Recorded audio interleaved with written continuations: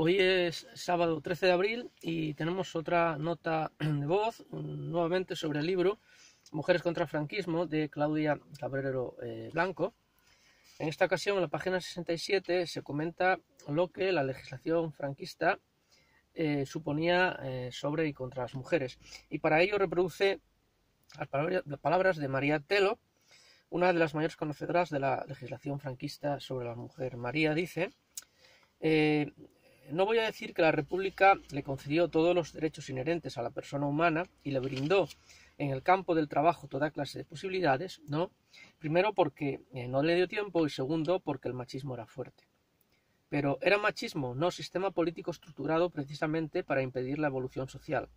Al igual que para la liberación de la mujer es necesaria quitar barreras legales que le den derecho a exigir, para impedir su liberación lo primero que hace la dictadura es conservar, conservarlas y poner nuevas barreras, se refiere.